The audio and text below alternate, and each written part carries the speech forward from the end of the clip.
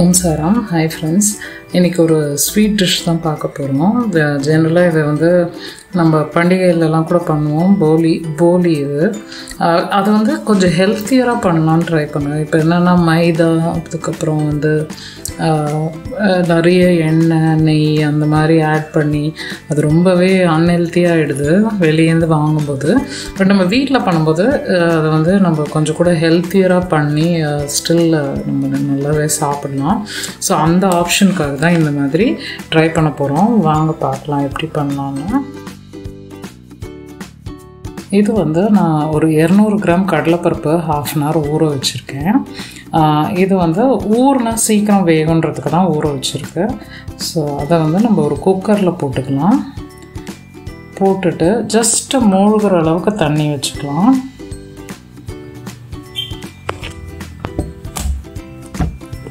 அதுக்கப்புறம் மூணுலேருந்து நாலு விசில் இல்லைன்னா ஒரு ஃபைவ் மினிட்ஸ் லோ ஃப்ளேமில் நல்லா ப்ரெஷர் குக் பண்ணிடலாம். அதுக்கு குக் ஆகிறதுக்குள்ளே நம்ம மேல் மாவு ரெடி பண்ணிக்கலாம். நான் வந்து ரெண்டு கப்பு மாவு எடுத்திருக்கேன். இந்த மெஷரிங் கப் வந்து ஹாஃப் கப்பு அதனால தான் நாலு போட்டிருக்கேன். ஸோ ரெண்டு கப்பு கோதுமை மாவு. நம்ம வீட்டில் அரைச்ச சாதாரண கோதுமை மாவு. அதுக்கு வந்து கால் ஸ்பூன் மஞ்சள் தூள் போட்டுக்கலாம்.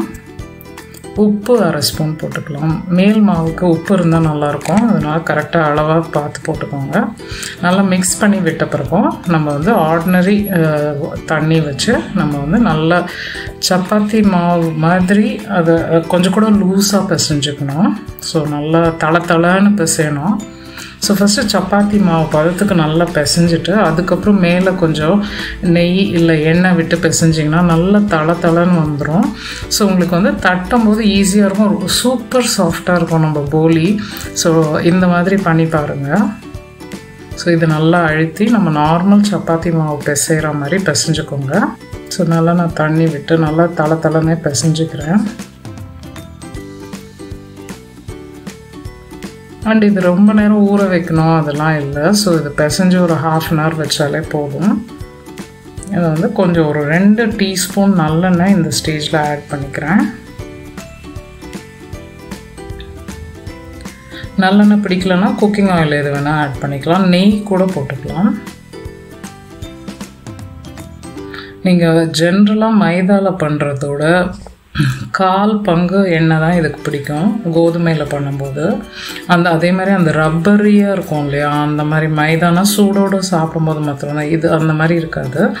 அதே மாதிரி இது வந்து ஒரு லஞ்ச் பாக் ரெஸ் ரெசிப்பியாக பசங்களுக்கு கொடுத்து அனுப்பலாம். நீங்கள் ப்ரீவியஸ் டேவே இந்த பூர்ணம் ரெடி பண்ணி வச்சுக்கிட்டிங்கன்னா இதை வந்து ஜஸ்ட் ஸ்டஃப் பண்ணி சீக்கிரமாக பண்ணிடலாம். ரொம்ப ஹெல்த்தி ஏன்னா வந்து தேவையான கார்ப்ஸ் இருக்குது அதே மாதிரி பருப்பு இருக்கனால ப்ரோட்டீன் இருக்குது அஃப்கோர்ஸ் ஸ்வீட் கொஞ்சம் இருக்குது ஸோ பசங்களுக்கு ரொம்ப பிடிக்கும். ஒரு பிரேக்ஃபாஸ்ட் ரெசிபியாக கூட சாப்பிட்லாம். ஈவினிங் டிஃபன் தான் சாப்பிட்ணுன்னு இல்லை. அந்த மாதிரியும் இது பண்ணி சாப்பிட்லாம். ஸோ பாருங்கள் பிசைய பிசைய அது எப்படி தள தளன்னு வருது பாருங்கள் இன்னும் ஃபியூ கொஞ்சம் கூட எண்ணெய் சேர்த்து நான் பிசைஞ்சிருக்கேன். மூணு இல்லை நாலு டீஸ்பூன் எண்ணெய் தேவைப்படும் இந்த ஸ்டேஜில்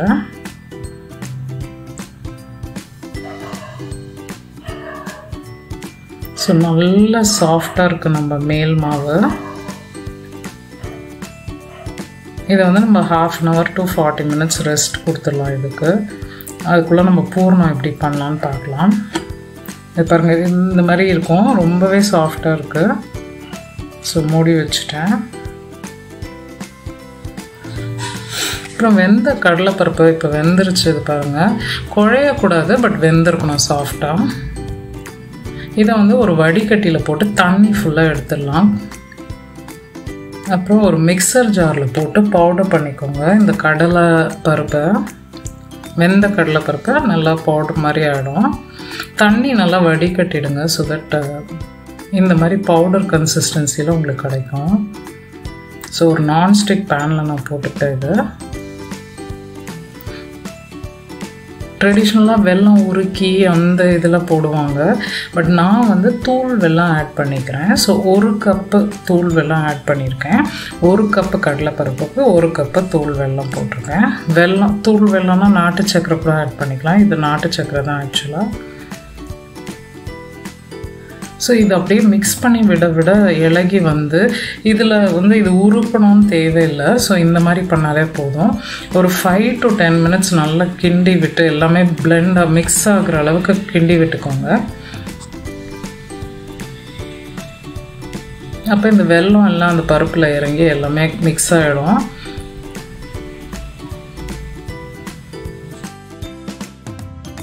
ஒரு ஃபைவ் மினிட்ஸ் இது நல்லா மிக்ஸ் பண்ணுறதுக்கு தான் உங்களுக்கு டைம் ஆகும். சம்டைம்ஸ் உங்களுக்கு கொஞ்சம் கூட ஷார்ட் பண் பண்ணோன்னா நீங்கள் மிக்சிலேயே வந்து கடலைப்பருப்பு போடும்போது கொஞ்சம் கொஞ்சம் வெள்ளம் ஆட் பண்ணி கூடவே மிக்ஸ் பண்ணிக்கலாம். ரொம்ப ஈஸியாக மிக்ஸ் ஆகிடும் அது பாருங்கள் இப்போ மிக்ஸ் ஆகிடுச்சு இந்த ஸ்டேஜில் வந்து நான் ஒரு கால் ஸ்பூன் ஏலக்காய் பொடி போட்டுக்கிறேன். அதுக்கப்புறம் அரை கப்பு துருவின தேங்காய். ஒரு டீஸ்பூன் நெய் இந்த பூரணத்துக்கு. ஸோ இதெல்லாமே நல்லா மிக்ஸ் பண்ணி விட்டுருங்க. மிக்ஸ் பண்ணிவிட்டு இந்த தேங்காய் வந்து எக்ஸஸ் மாய்ஸ்சர்லாம் uh, இழுத்துக்கும். ஸோ வந்து உங்களுக்கு கட்டியாயிடும் நல்லா.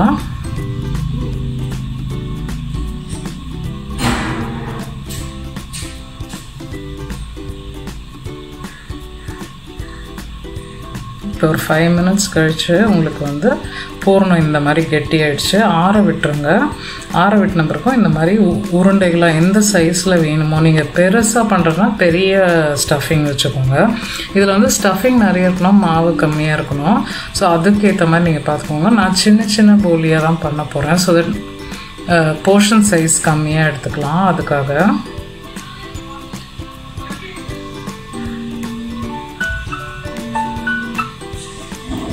ஸோ நான் ஒரு ஒரு அஞ்சாறு பால் மாதிரி பண்ணி உருட்டி வச்சுக்கிறேன் ஃபஸ்ட்டே அப்புறம் வந்து ஒரு வாழையில் இல்லைன்னா ஏதாவது thick foil plastic cover foil எது வேணாலும் கொஞ்சம் திக் அந்த இருக்கிற மாதிரி இருந்ததுன்னா எடுத்துக்கோங்க.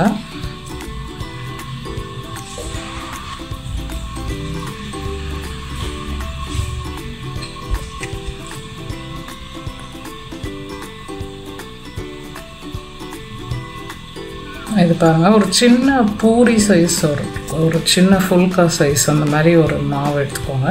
அது கொஞ்சமாக தட்டின பிறகும் இந்த உருண்டையை நடுவில் வச்சுட்டு நாலு பக்கமும் அதை வந்து க்ளோஸ் பண்ணிக்கோங்க இந்த மாதிரி.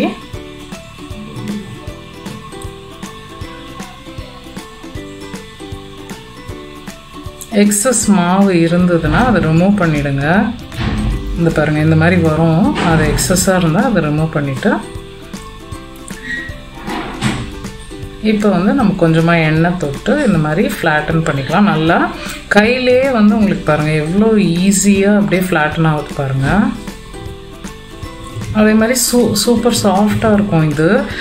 நீங்கள் போட்டு ஹாட் பேக்கில் வச்சுட்டிங்கன்னா அப்படியே இருக்கும். அதனால தான் சொன்னேன் லஞ்ச் பாக்ஸ்க்கெல்லாம் கூட எடுத்துகிட்டு போகலாம் கிட்ஸ் எல்லாம்.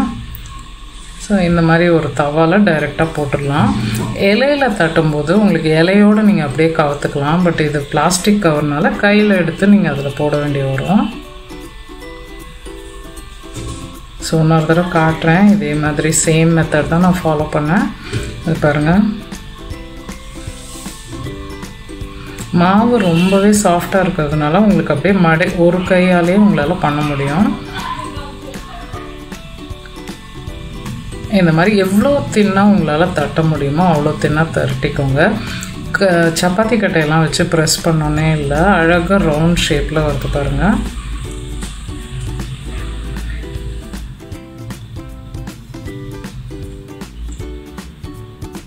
இப்போ இந்த ஸ்டேஜில் வந்து கொஞ்சமாக நெய் இல்லை எண்ணெய் தடவிட்டு நம்ம வந்து இதை சுட்டுக்கலாம். ஸோ ஒரு மூணு நாள் இந்த மாதிரி பண்ணியிருக்கேன். உங்களுக்கு காட்டுறதுக்காக. அதே மாதிரி இது வந்து நான் பிச்சு அதாவது எப்படி சாஃப்டாக இருக்குன்றதுக்காக நான் உங்களுக்கு இது பண்ணி காட்டுறேன். சுட சூடாகவும் இருக்குது சரி பாருங்கள் ரொம்ப சாஃப்டாக இருக்குது ரொம்ப ரொம்ப டேஸ்டியான டிஷ் இது. கண்டிப்பாக ட்ரை பண்ணுங்கள் எல்லா டிஷ்ஷும் இந்த மாதிரி ஹெல்த்தி வெர்ஷனாக நம்மளே மாற்றிக்கலாம் டேஸ்ட் எதுவும் குறைஞ்சிடாது ஸோ அதனால் நீங்களும் இந்த மாதிரி கோதுமை வச்சு அதே மாதிரி நாட்டு சக்கரை வச்சு ட்ரை பண்ணுங்கள் ஹெல்த்தியான நம்ம பாரம்பரிய டிஷ்ஷஸ்லாம் ஹெல்த்தியாக கன்வெர்ட் பண்ணி நல்லா என்ஜாய் பண்ணி சாப்பிடுங்க.